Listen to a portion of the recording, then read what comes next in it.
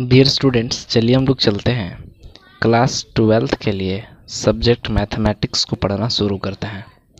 जैसा कि जानते हैं आप ट्वेल्थ क्लास में हम लोग मैथमेटिक्स में एक्सरसाइज 7.5 7.5 एक्सरसाइज के क्वेश्चंस के लिए हम लोग रेडी हो गए हैं क्योंकि पिछले क्लास में हम लोगों का थ्योरी जो है ख़त्म हो चुका है। ठीक है? चलिए अब हम लोग जो थ्योरी में पढ़े थे कुछ आ, पीएफ का इंटीग्रेशन पीएफ मतलब पार्शियल फ्रैक्शन का इंटीग्रेशन हम लोगों ने सीखा था।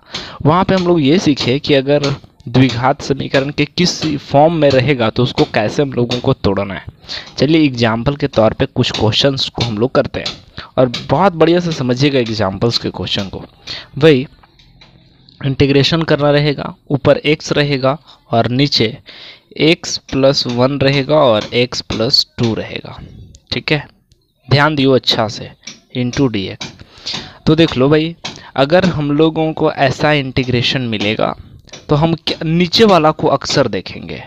नीचे वाला को आप देखिए तो पता चल रहा होगा आपको कि ए भी एक गुणनखंड में है ये भी गुणनखंड में है।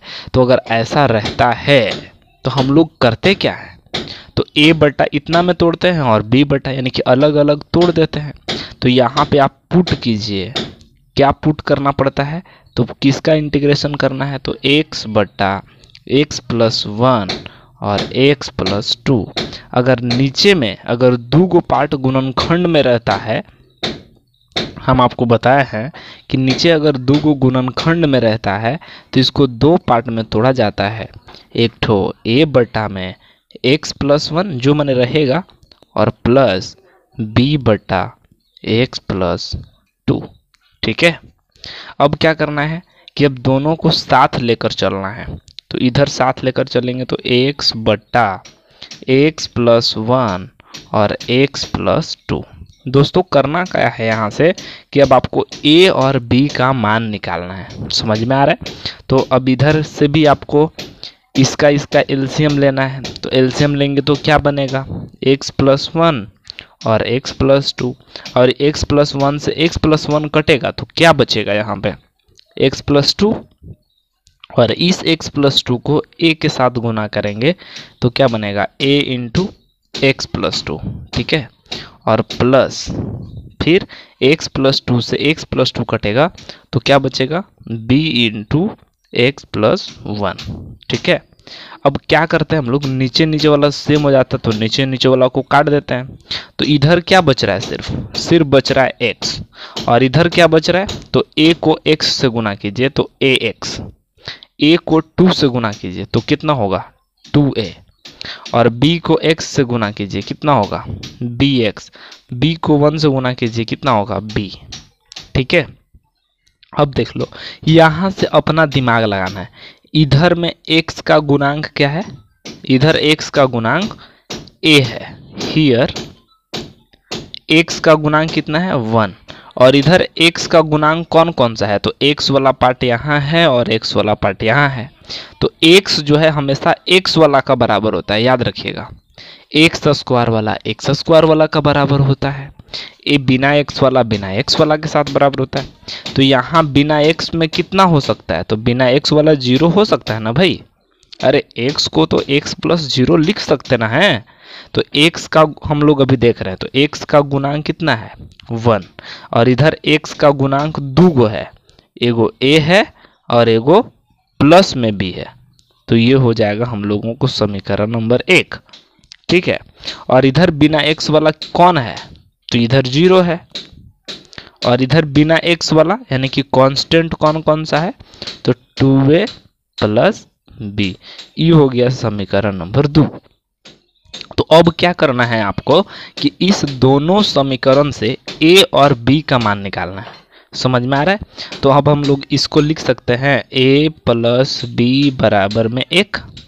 और इसको लिख सकते हैं टू ए प्लस बी बराबर में ज़ीरो। और साइन अगर चेंज करेंगे तो कितना होगा? ज़रा साइन चेंज करेंगे तो ये तो कट गया। और ए और माइनस टू ए मिलकर हो गया माइनस ए बराबर में वन। इसलिए ए का वैल्यू हम लोगों को पता चल गया कितना? Minus one. ठीक है? अब ए का वैल्यू माइनस वन पता चल गया। तो बी का वैल्यू कितना होगा भाई? समझ में आ रहा है? बी का वैल्यू कितना होगा? तो v का वैल्यू देख लो भाई। अब समीकरण एक से तो from equation one equation one क्या है? तो इक्वेशन वन है a प्लस बी बराबर में एक। और a का मान अभी हम लोगों को आया हुआ है माइनस वन तो a की जगह पे माइनस वन इसलिए b का वैल्यू कितना हो जाएगा? टू अब करना कुछ नहीं है। सबसे पहले इस एक्सरसाइज में आपको तोड़ने आना चाहिए और तोड़ने के लिए हम आपको बता दिए हैं कि अगर नीचे वाला को देखना है, जैसा सिचुएशन रहेगा, उसी हिसाब से हम लोग तोड़ते हैं, ठीक है? अगर मान लिया कि नीचे दो गो रहेगा और दोनों किसमें रहेगा? अलग अलग रहेगा गुणनखंड में तो उसको अलग अलग तोड़ेंगे। जैसे मान लिया कि नीचे अगर एगो गुणनखंड में रहेगा और यहाँ द्विघात समीकरण रहेगा तो द्विघात समीकरण का ऊपर एक बी एक्स प्लस सी टूटता है, ठीक है? हम बताएँगे वैसा सिचुएशन चलिए, खैर ए और बी का वैल्यू निकाल देना है। अब दोस्तों अगेन कान लिखना है अगेन इंटीग्रेशन किसका करना था? X plus x plus one x plus two x बटा x plus one x plus two d x अब इसी के जगह पे हम लोग क्या लिखे हैं? इसी के जगह पे, किसके जगह पे? X प्लस देख लो ना भाई, हमको क्या करना था? X by x plus one और x प्लस टू एक्स इसका ना इंटीग्रेशन करना था। इंटीग्रेशन अब इसी को ना हम लोग दो गो पार्ट में तोड़े हुए हैं। कौन सा में? इसी पुट किए हैं। इतना ही के ना? बराबर इतना किए हैं। कितना? तो ए बट्टा x plus one plus b बट्टा एक्स प्लस टू और पूरा का एक्स अब क्या करेंगे भाई? तो ए का तो वैल्यू हम लोगों को निकला हुआ है। ए का वैल्यू कितना? माइनस में वन तो ए का वैल्यू माइनस वन आया तो माइनस वन बट्टा x plus one plus b का वैल्यू कितना आया? तो बी का वैल्यू टू बट्टा एक्स प्लस टू ए और बी के जगह पे रख दिए इन टू डी एक्स यानी कि जितना के फॉर्म में तोड़ेंगे हम लोग, उतना के जगह पे ये रख देंगे. ए और बी रख दिए. ए का मान रख दिए बी का मान. अब हम लोग जानते हैं ना भाई, कि अगर इंटीग्रेशन प्लस में रहेगा या माइनस में रहेगा तो अलग अलग कर सकते हैं. तो इसको अगर तोड़ेंगे तो माइनस वन तो बाहर आ जाएगा. माइनस को बाहर कर लीजिए तो इंटीग्रेशन के अंदर हो जाएगा one by x plus one into d x और यहाँ से टू को यदि बाहर निकाल लेते हैं तो प्लस हो जाएगा टू इंटीग्रेशन से बाहर one by x plus two into में डी एक्स समझ में आ रहा है? अगर ये चीज़ समझ में आ रहा है तो बहुत इजी वे में हम लोग कर सकते हैं। कैसे बना सकते हैं भाई? तो देख लो, अब एक फार्मूला होता है इंटीग्रेशन का। वन बाई अगर एक्स रहेगा इंटीग्रेशन तो दोस्तों इसको हम लोग लिखते हैं लॉग एक्स क्या लिखते हैं इसको? लॉग एक्स लिखते हैं। उसी तरीके से वन बटा एक्स प्लस वन है तो इसको हम लोग क्या लिख सकते हैं? इसको लिख सकते हैं minus log x plus one समझ में आ रहा है। उसको अगले पेज में दिखा देते हैं। इसको माइनस को माइनस लिखेंगे और वन बाई एक्स का होता है लॉग एक्स तो one by x plus one का क्या होगा? Log x plus one clear और यहाँ पे टू है तो टू बाहर ही रहेगा। One by x plus two का होगा क्या? लॉग एक्स प्लस टू तो कुल मिलाकर यहाँ हम लोगों को क्या निकला? यहाँ निकला minus log x plus one क्योंकि वन बाई एक्स का लॉग एक्स लॉग एक्स होता है। Plus two log x plus two और प्लस में क्या करेंगे हम लोग? सी करेंगे। और एक प्रॉपर्टीज़ होता है दोस्तों। प्रॉपर्टीज़ कैसा होता है देख लो। अब इतना पे आंसर करेंगे, कभी भी गलती नहीं होगा। ये हम लोगों का सटीक आंसर है। लेकिन जब बुक में आंसर मैच करेंगे तो उसमें लॉग का कुछ रूल नियम बताया होगा। हम लोग सीखे हुए हैं कि लॉग अगर रहे एम और उसके पहले अगर एन रहे लॉग एम रहेगा, लेकिन उसके पहले एन रहेगा तो जो पहले वाला जो रहता है, वो पावर में चढ़ जाता है। ठीक है? तो हम लोग इसको minus log x plus one को एक्स प्लस छोड़े। लॉग के पहले टू है तो हम लोग क्या करेंगे? लॉग एक्स प्लस टू का होल स्क्वायर हो जाएगा और प्लस में सी समझ में आ रहा है? यहाँ तक भी आंसर करेंगे, कभी दिक्कत नहीं होगा। लेकिन यहाँ पे कुछ रूल नियम लगा देता है लॉग का। लॉग के पहले टू था तो ये रूल होता है लॉग का कि टू कहाँ चला जाता है? पावर में। अब इसी को हम लोग पहले प्लस वाला को लिख सकते हैं। तो लॉग एक्स प्लस टू का whole square minus log x plus one plus में सी इसको पहले लिख दिया, इसको बाद में लिख दिया। उससे कोई दिक्कत नहीं है। ऐसा इसलिए क्या क्योंकि एक और रूल होता है लॉग का, कि लॉग अगर एम रहे और माइनस लॉग अगर एन रहे तो लॉग हो जाता है एम बटा एन यानी कि अगर दो लॉग का माइनस रहे, समझ में आ रहे दो लॉग अगर माइनस में रहेगा तो हम लोग उसको डिवाइड कर देते हैं। देख लो लॉग के अंदर इतना है और माइनस है लॉग के अंदर इतना। तो इसको हम लोग लिख सकते हैं लॉग एक्स प्लस टू का whole square divided by x plus one यानी कि यहाँ पे क्या हो गया? डिवाइड हो गया। अब ये डिवाइड हो गया प्लस यहाँ पे मोड व्यू लिख सकते हैं मोड व्यू होता है।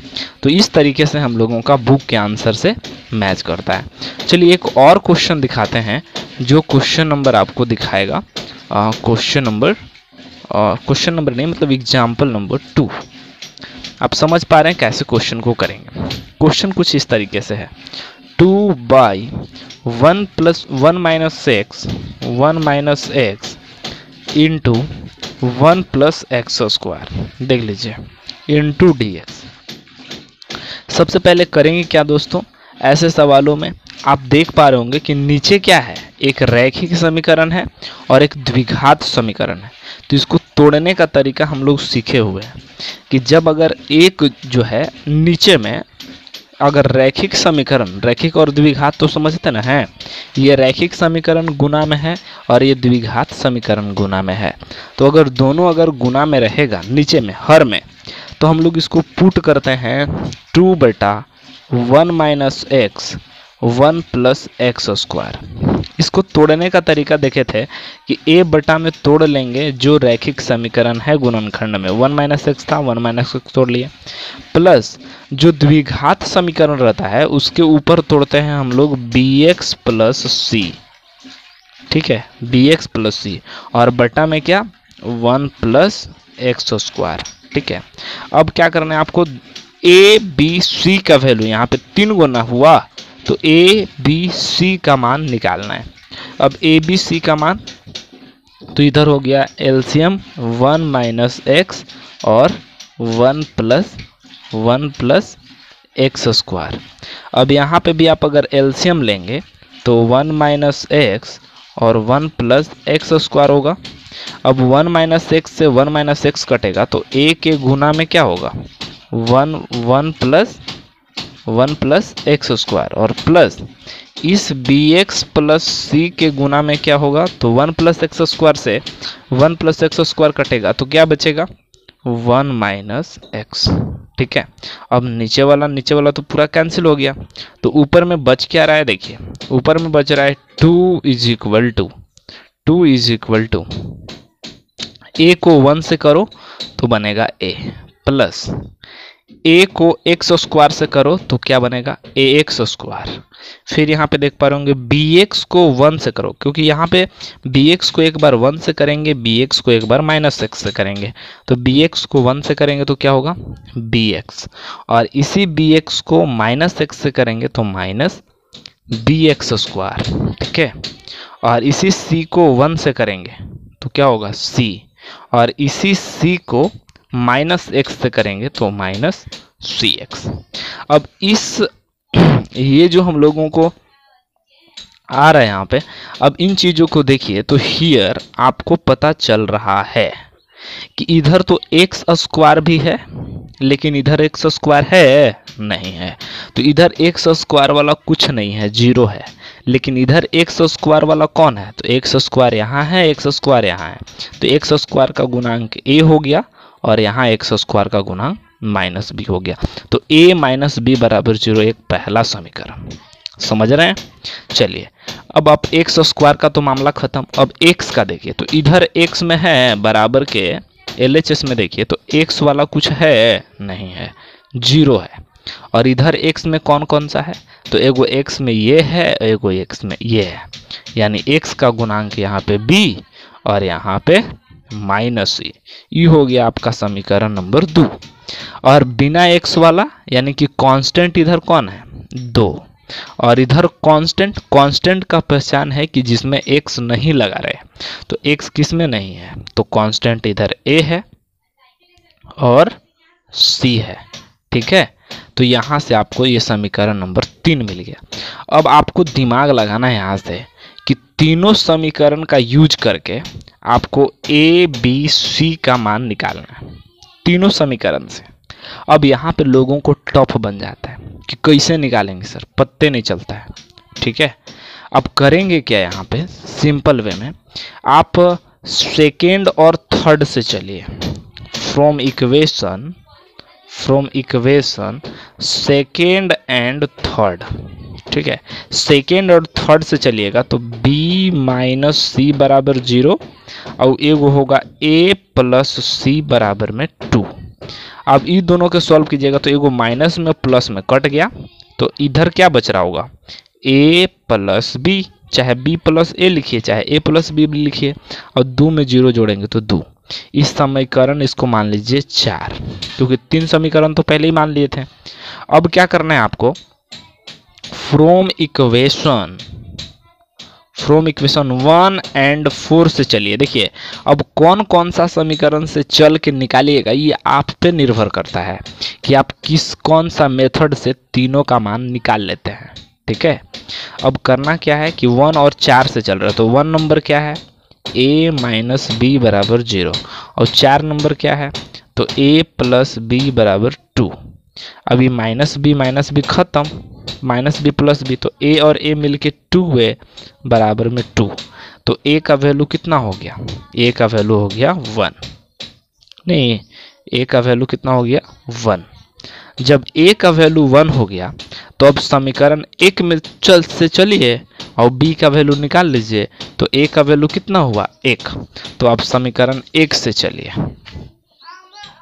From equation one from equation one क्या है? तो ए माइनस बी बराबर ज़ीरो तो ए का वैल्यू वन माइनस बी बराबर में ज़ीरो तो इसलिए minus b is equal to कितना होगा? ये वन है, उधर जाएगा तो माइनस वन इसलिए बी का भी वैल्यू कितना आया? वन तो ए और बी का वैल्यू निकल गया तो आप अब समीकरण दो से चल दीजिए, तभी ना सी का वैल्यू आएगा। तो देखिए, किस समीकरण से चलना है कौन कौन सा समीकरण को पकड़ना है, ताकि तीनों का वैल्यू आसानी से हम निकाल सके। वही नहीं, यहाँ पे हम लोगों को चार चार समीकरण में मिल सकता है, कोई दिक्कत नहीं है। कितना समीकरण भी मिल जाए, लेकिन आपको क्या करना है कि जितना अननोन वैल्यू आएगा, हो सकता है कि अभी तक के ए बी सी मिला है, बाद में ए बी सी डी भी मिले।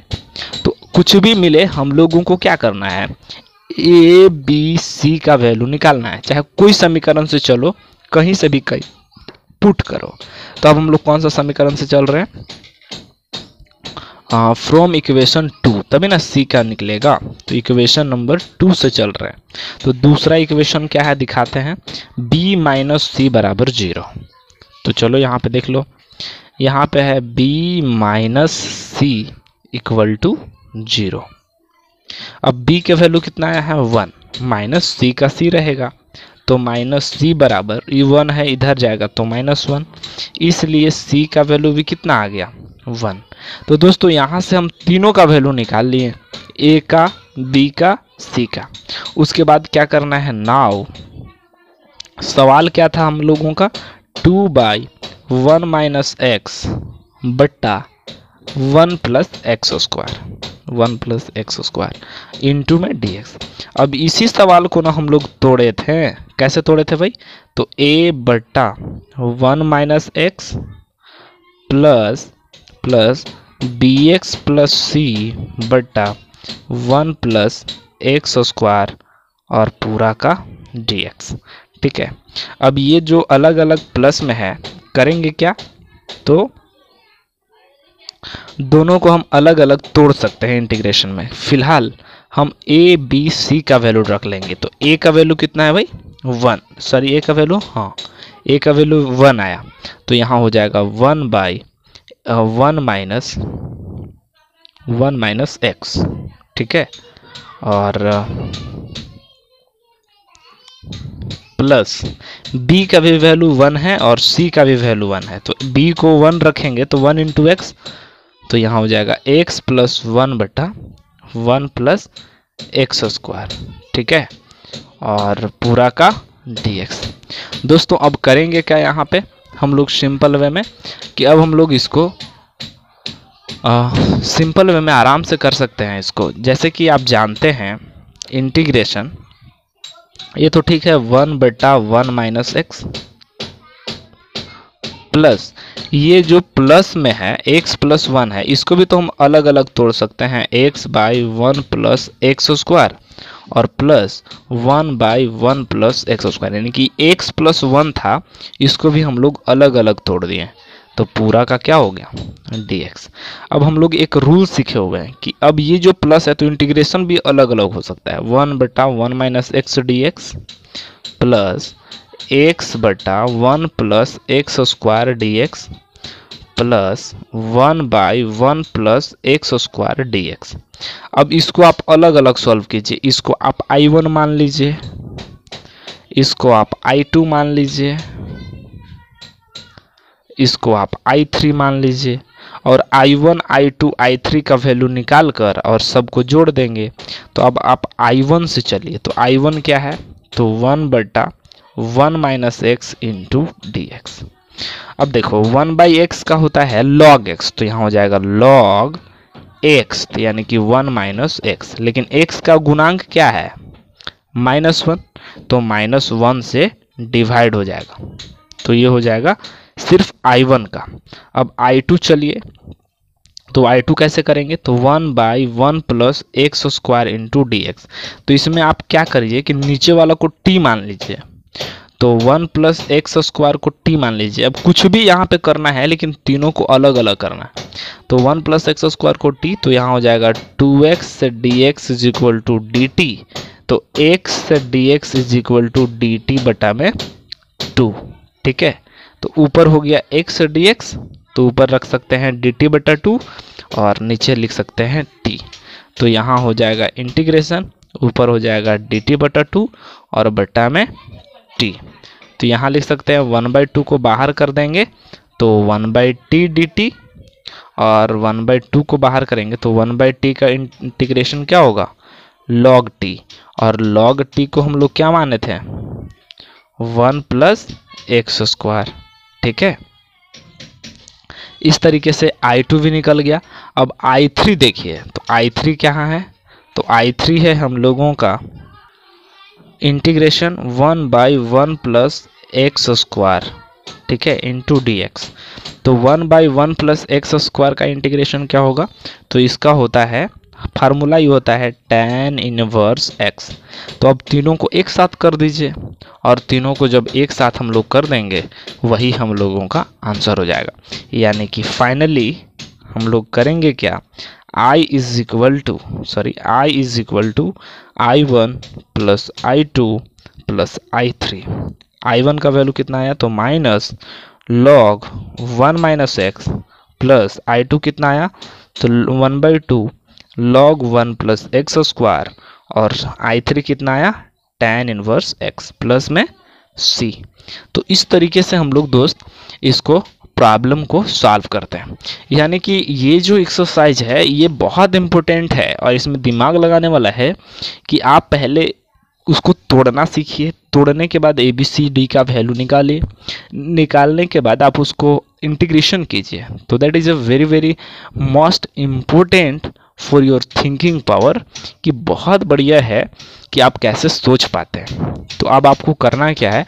7.5 एक्सरसाइज को निकालना है और वहाँ से क्वेश्चन को देखना है। ठीक है? और ट्राई करना है कि क्वेश्चन बन पा रहा है या नहीं बन पा रहा है। फ़िलहाल हम 7.5 एक्सरसाइज के क्वेश्चंस के लिए अगले दिन से स्टार्ट करेंगे। तो दोस्तों, आज के लिए इतना ही। फिर मिलते हैं अगले क्लास में। तब तक के लिए धन्यवाद।